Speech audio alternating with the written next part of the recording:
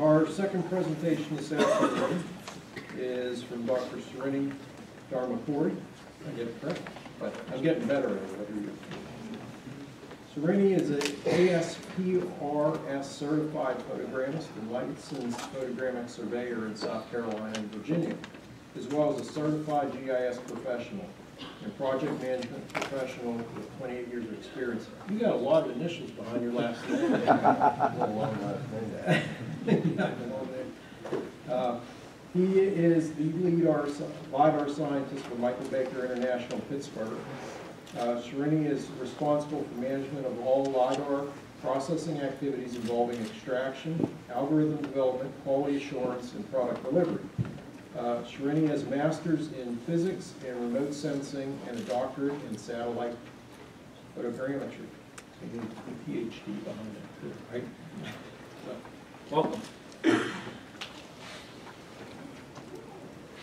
Thank you, Mark, and uh, also thank the organizers for uh, giving uh, this opportunity to present a paper on uh, managing multiple LiDAR datasets, um, challenges in the pipeline-related studies.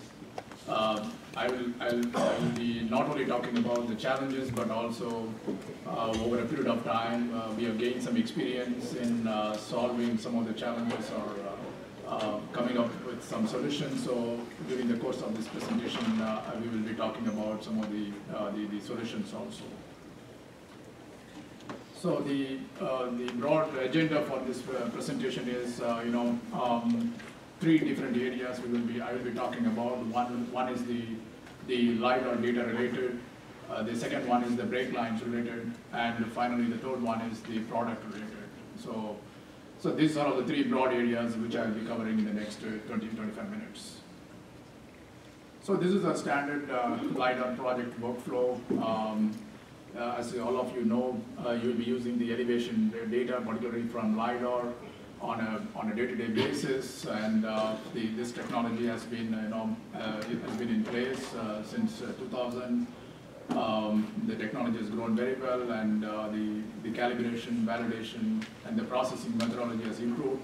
So this is a standard uh, workflow um, adopted in terms of collecting and processing the LiDAR, you know, starting from planning, um, collection, doing the pre-processing of uh, range data, uh, the GPS data, the IMU data, and then you jump onto the LiDAR data processing. That is where you extract the ground points, and uh, also you, you know, and also you collect the break lines, and then you finally get onto the post-processing. That is where you create the products, uh, mostly uh, the surface as well as the contours are the standard products that comes out of the LiDAR projects, but there, are, there can be large number of derivative products that can be uh, that can be derived from the LiDAR data. And uh, finally, of course, the quality control is an integral component of any LiDAR project. And of course, this uh, workflow is, um, is uh, applicable as long as you have a project area, you go over, collect the data, and process the data. If that is the case, and this workflow works out very well. But in the case of pipeline projects, we face a different situation or a different scenario. That means we have to come up with a different workflow uh, to handle the situation. So with that, I will go straight away into the first one, uh, the LiDAR data, uh, multiple, I mean, the, the, challenges with regard to the LiDAR data. So you guys are, you know, um, I've been in the, in the oil and, predominantly in the oil and gas industry. Um, the, the first few statements are very straightforward. You know, one is the, in, in majority of the cases, or in most of the cases, the pipeline corridors will have a high resolution LiDAR data. And uh, these high, high resolution LiDAR data is processed in a contiguous manner or it can be a non-contiguous manner. The most important thing is whenever the pipeline alignment changes, obviously the corridor also undergoes a change. So what happens is whenever there is a change in the pipeline alignment, then the corridor changes. And when the corridor changes, what happens is you will end up in some data gap. In the sense you start with a version one, let us say that's the version one of the pipeline corridor or the pipeline alignment, version one, and you have the, the entire data set covering the entire corridor is available. The moment you change the pipeline um, alignment, then the corridor changes, then there is some data gap. So what happens is you have to get some new LiDAR data, process, and uh, match with the already existing data. It's very easy to say. That means you collect the new data, stitch it, stitch it with the older data. That's very easy to tell, but that is where I think we have to go through certain uh, processing challenges. And, um, and the other important thing is uh, when you are using multiple LiDAR, LiDAR data sets, the, the specifications may not be the same. You know, uh, it, the data can come from multiple vendors, and uh, there can be different uh, specifications that have been used uh, in, in terms of collecting the data. So these are all some of the issues or the challenges uh, when you when you get into the multiple lidar data sets. So here is a classic example what I what I talked in the previous slide. Uh, this is a standard a start of a, a long uh, pipeline corridor, and you know the, each color signifies uh, something which will be shown in the the next slide. As you can see, the green line or the green color is the original data set that was collected on date one, covering the entire, entire corridor.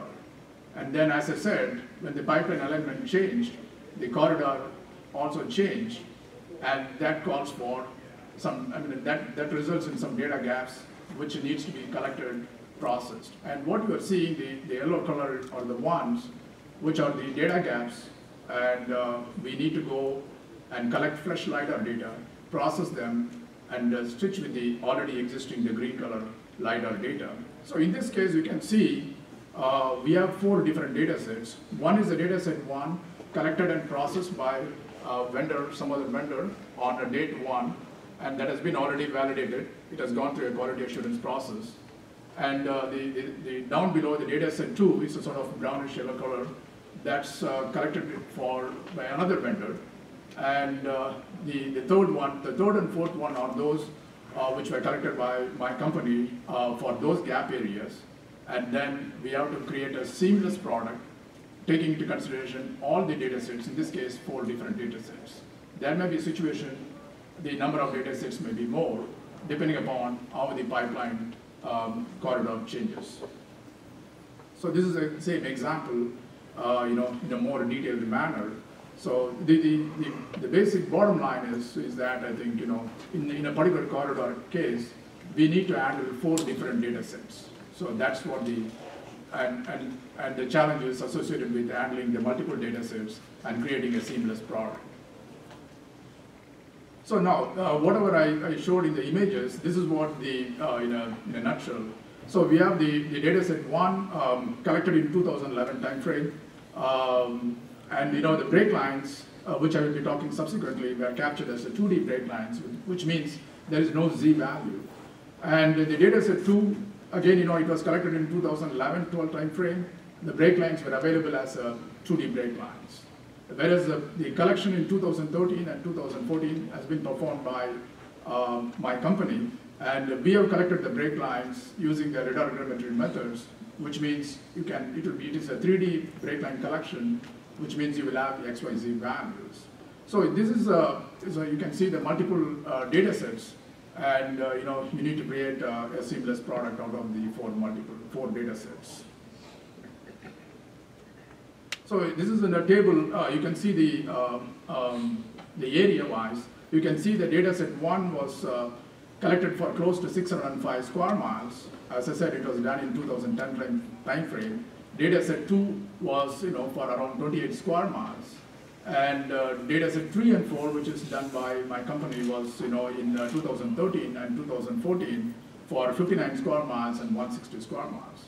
It's a substantially uh, a big, big project. Um, so it involved a lot of effort in terms of you know, processing, validating, and as well as you know, creating a seamless product. Now, uh, what is the first stage? You know, we know what are the, we know, we, have, we know that we have got four different data sets. So what is the first step in uh, going forward? The very first step is the review of metadata. And I think that's very critical, or that is the first step in, in, in terms of processing. So you go through each every data set and see uh, what are the you know, parameters that were used in data collection in terms of uh, the pulse density, uh, the number of points per square meter, so on and so forth.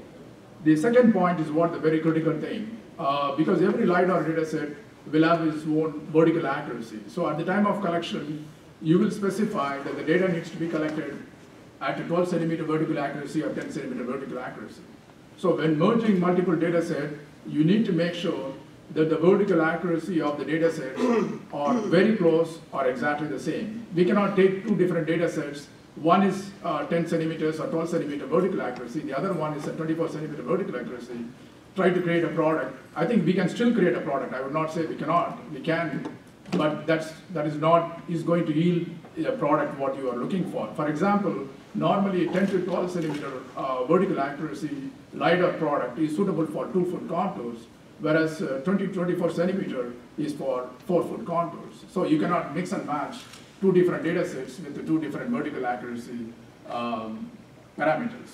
And the other one is, of course, the completeness of the data set in terms of you know, what sort of break lines have been collected, whether it's a 2D, 3D, and uh, the, the fourth one is very critical, you know, the datum projection. This is a problem almost every GIS folks will handle when you are different data sets will come with the different projections, datum, and so on and so forth. And, um, and also the, uh, the, the industry standard guidelines, you know, some people will follow some FEMA guidelines or the USGS guidelines. Some of you guys, the oil and gas companies, they have their own guidelines. So make sure that, you know, you are, you are handling the data sets which are all comparable to each other. Now, we cannot take two, two disparate data sets, try to mix and match and create a one seamless product. And the last one is very critical thing, you know, temporal elevation changes. There are areas, if there are a lot of changes are taking place on the ground, then, you know, you need to apply some caution because once there is some construction or something like that has taken place in 2000 data set, whereas in 2014, I mean, you know, in 2010 there are no changes, in 2014 some construction has already taken place, then you will face some issues in terms of merging the data. So, the, what are the goals of merging? The, the, the goals are, one is when, uh, the most important thing is when we have uh, the two data sets are merged, the the elevations, uh, you know, the, the, differences in elevation should be minimized because, you know, um, that's, that's a very critical thing. More the elevation difference between the two, two data sets, that will reflect in the, in the contours. And the second thing is, of course, the vertical difference along the tie edge will not exceed the FVA. FVA is the fundamental vertical accuracy. That's a parameter that will come along with the LiDAR data set. So these are all the two important things we have to keep in mind when we are merging two different data sets. And uh, what we what we do is then uh, you know you go through the data sets, uh, find out the overlap areas, and uh, you know you compare the two ground surfaces. Suppose if you have a data set one and data set two, uh, create a ground surface of data set one and two, and then you know find out what is the vertical offset that should be applied. And again, you cannot apply a one single vertical offset along the entire corridor. That will never work. So there is no single or a, a sort of silver bullet type of thing wherein you find one single vertical shift that needs to be applied. That way, all the data set will be, you know, uh, seamlessly fit together. It will never happen. It, it will be a sort of iterative process, and you have to go through the entire data set from north to south, and you know, find out the group of areas where you can apply a certain shift and there will be another group of areas where the vertical shift will be somewhat different. And uh, with that, this is what I think has, uh, has happened in the project.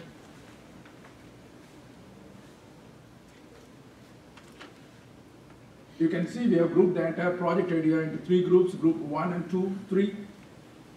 And within that group, there are different areas where there, and uh, we have applied, this is a vertical shift that was applied. As you can see, it is not a single uh, shift that was applied along the corridor. We have applied different shifts at different groups and different areas. So that, that way, we are able to bring all the data sets to a comparable level.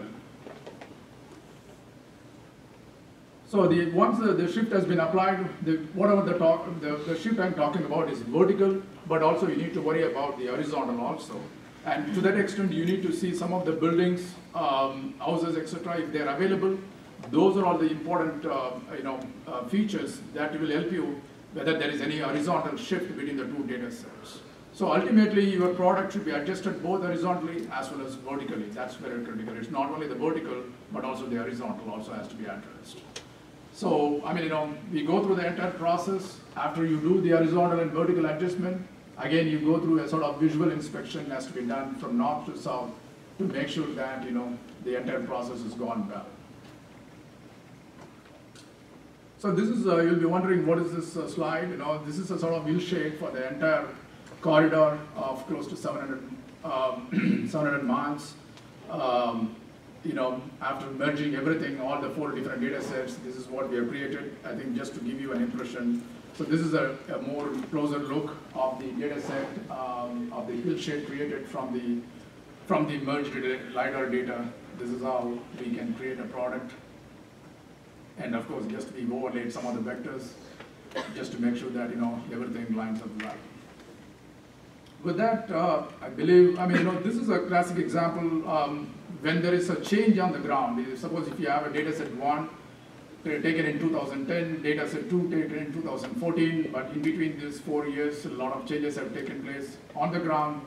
Then you will see, when you take the cross-section profile, you will see the difference between those two data sets, just to show you an example, when there is so many changes have taken place on the ground. So with that, uh, I go to the next topic, which is the break lines. Again, uh, the break lines are very critical to any LiDAR project. Um, apparently, just for your recollection, for those who who were present last year, I made a similar type of paper specifically on the break lines. So, you know, the, for a quick recap on break lines, uh, you know, the break lines are very critical for the simple reason it, uh, it, it gives the, you know, it, we can represent the terrain in a better manner with the break lines.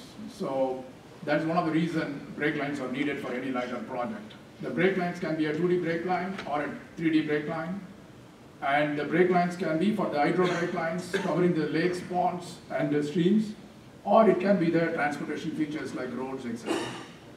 And most important thing in the last line, um, the break lines help in defining the contour behavior. So that's, that's why you connect the break lines on any LiDAR project. So there are different ways you can capture the break lines. One is the photogrammetry, everyone is aware of that. But nor normally when you have the LiDAR data, you will not have the, um, you normally may not collect the imagery, but there are cases where you will have the imagery also. The other way will be the lidar wherein you can collect the 3D break lines from the LiDAR data. And the other one is the 2.5D, we call it, but effectively it is a 2D, uh, wherein you take the intensity data, capture the break lines, and then drape it onto the surface, and that way you will get the Z value. So these are all the three different methods by which you can collect the break lines.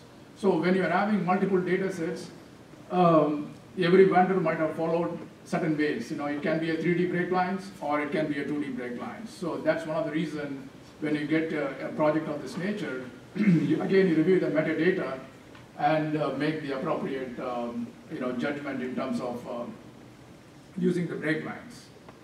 So the, what, what you do is, you know, you see whether the completeness of data set, that's very critical. And, you know, whether it's the hydro break lines or the transportation break lines, what is that it is covered?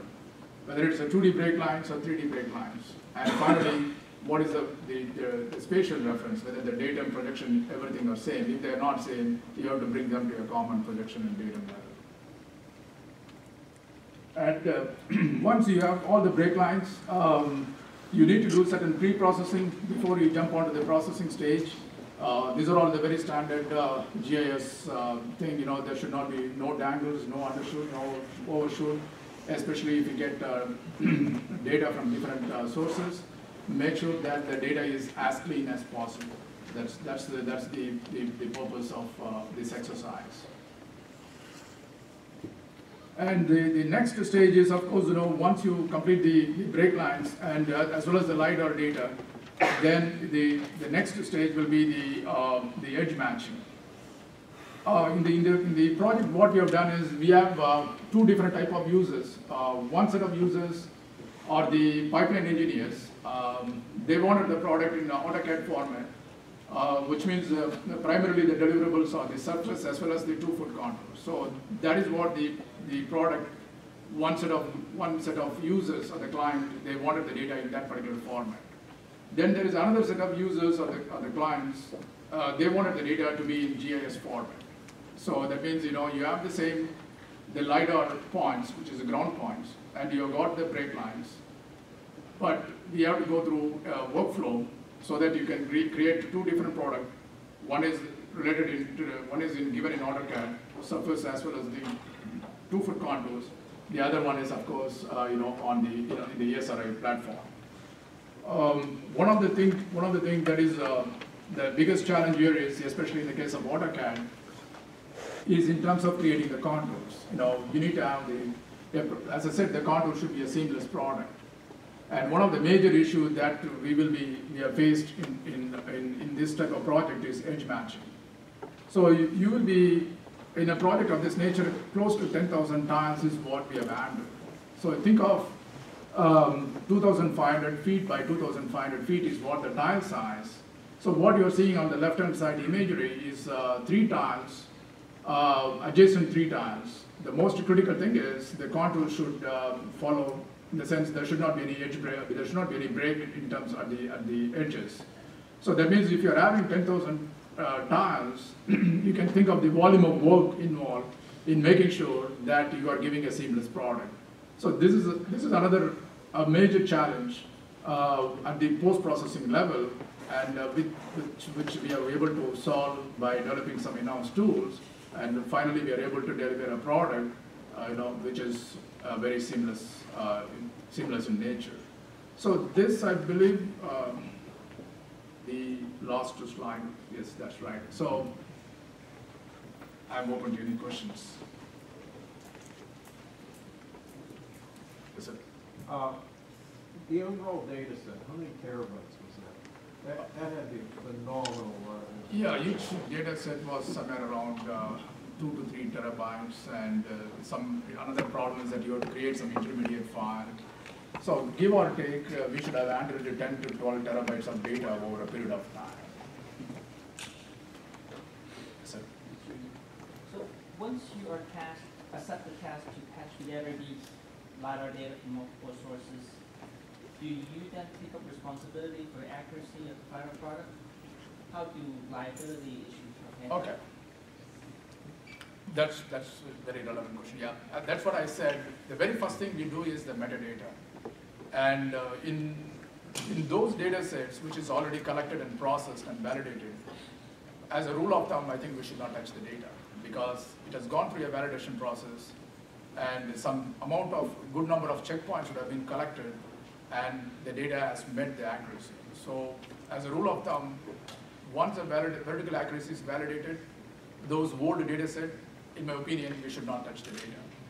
One other thing is you need to make sure that the break lines are correct or something like that, but the ground points, as given by the vendor or as validated by the agency, we should use it as it is. Whereas the new data, obviously, you will go through the same process, and there will be some vertical accuracy requirements will be there. You have to meet that vertical accuracy requirement. So that's, that's how you can add. Otherwise, you start playing with the older data set, I don't think it's correct. Because once the data is validated, it is validated. I mean, you know, it has gone through a certification process, you should stop there.